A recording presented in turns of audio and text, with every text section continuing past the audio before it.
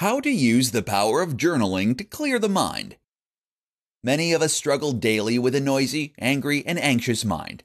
We have a thousand thoughts racing all at once, and this causes us to be distracted, unhappy, and far less effective and efficient than we could be.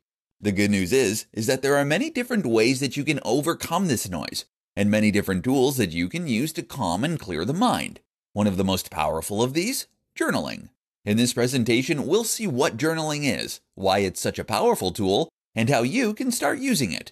So, journaling essentially means keeping a diary of events and taking time to write down things that happen. Normally, you would do this at the end of every day. You can write as much or as little as you'd like. And while you can find structured books that help to guide you through the journaling process, it's also possible to approach journaling in a completely free-form manner and to write about whatever you wish. There are a few goals.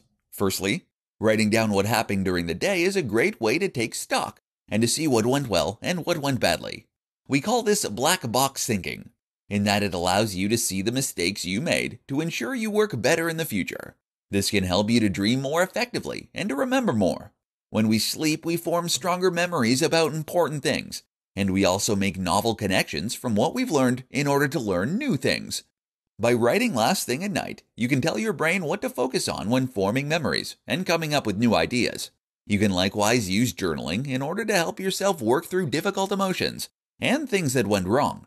When you have an argument or you make a mistake, it's common to find yourself reacting harshly in the moment.